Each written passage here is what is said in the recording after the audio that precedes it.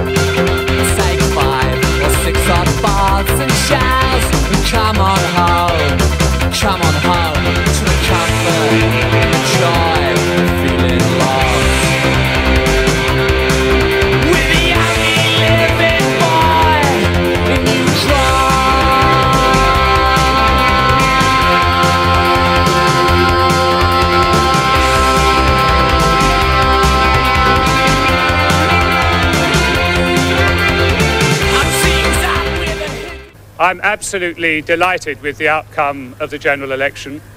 Uh, may I say, firstly, that I feel deeply honoured to have been given the opportunity of continuing the work I've started in the last 16 months. It's been an exhilarating 16 months, and it is the most enormous privilege to have the opportunity of serving as Prime Minister. Party politics clear by four. He's keeping up the gallop. Carl Llewellyn's going for everything, but it's going to be party politics national. They've got 100 yards to go, and it's party politics in the lead, striding resolutely up towards the line. And party politics is going to wake it. Party politics and winner.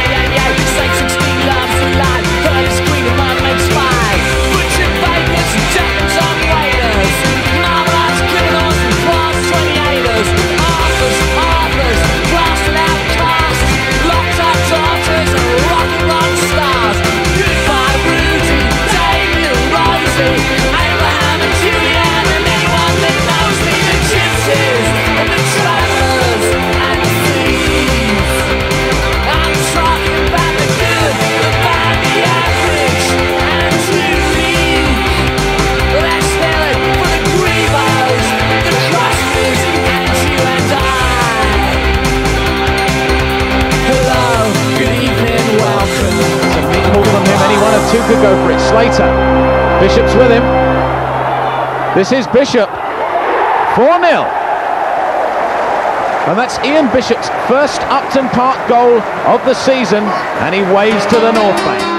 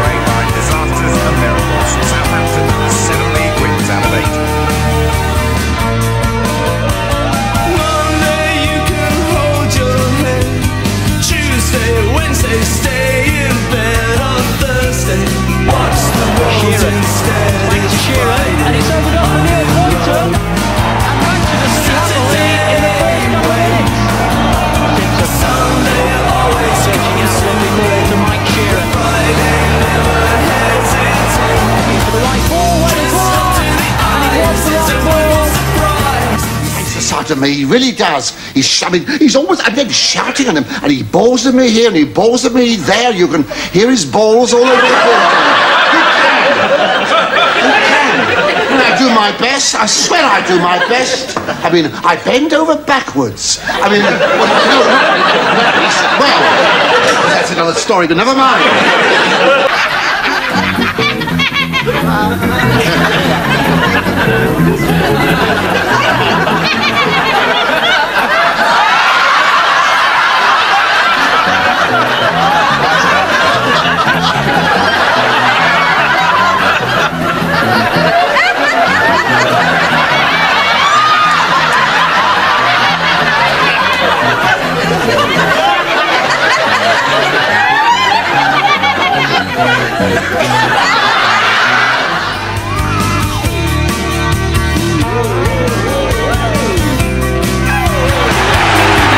third defeat in seven days virtually seals their fate. Defender Tim Breacker adding to their problems with this dreadful back pass. Mark Wright saying thanks very much. Palace scored a second when Chris Coleman accepted an Easter gift from goalkeeper Miklosko. West Ham are definitely down if Coventry get that extra point.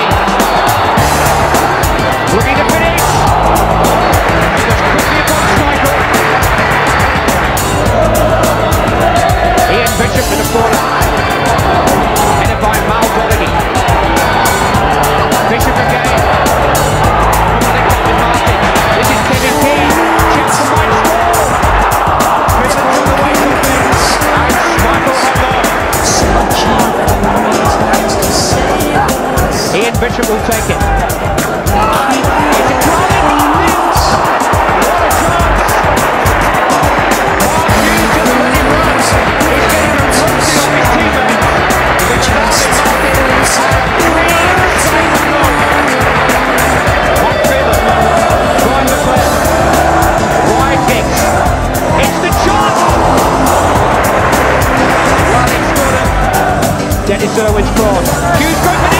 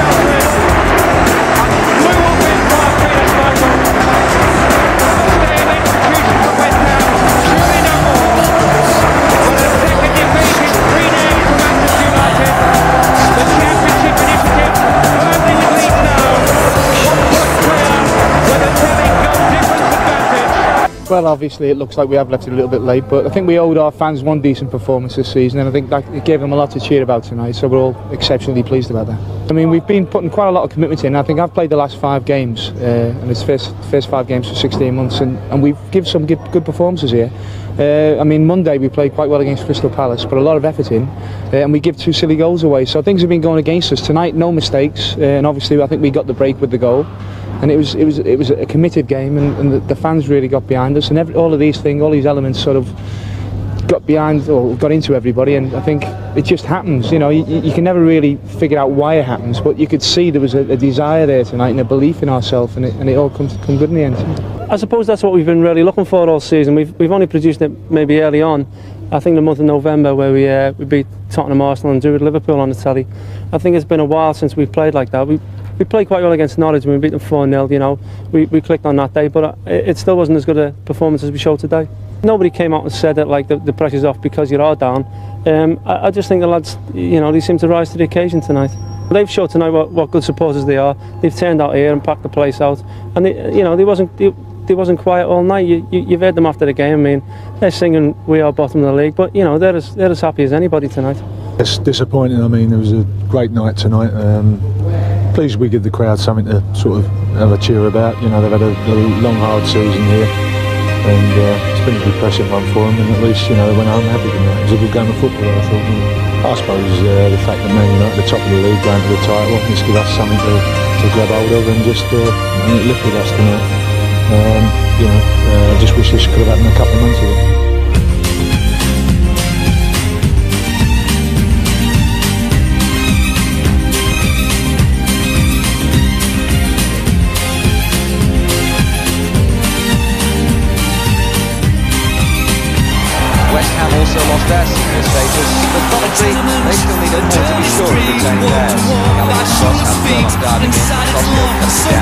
Down, and Vicky Jim,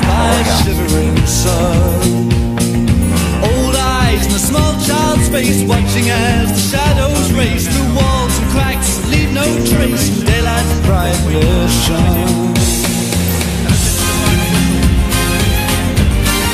Days of Pearly Spencer.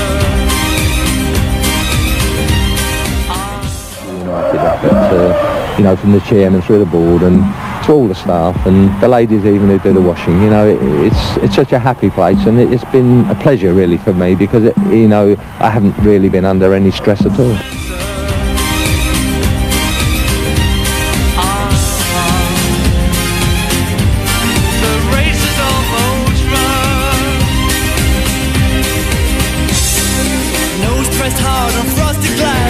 Gazing as the swollen mass on concrete fields where grows no grass.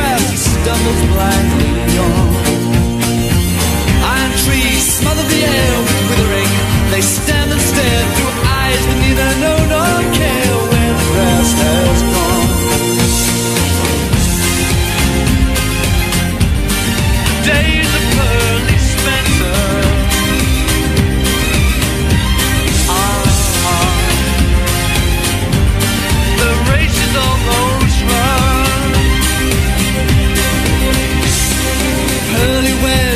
White skin. What's that stubble on your chin? It's buried in the rock gut gin. You play the last not one. You play the house that can't be beat now. Look, your head's bowed in defeat.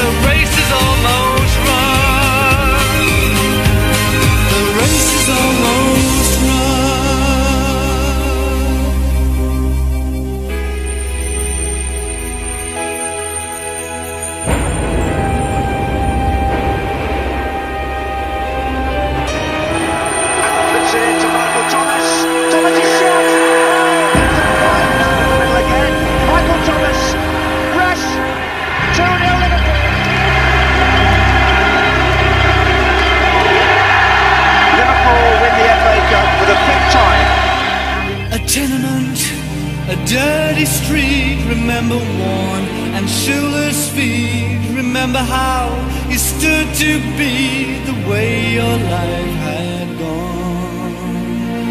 So, Pearly, don't you shed more tears for those best forgotten years. Those tenements are memories of where you've risen from.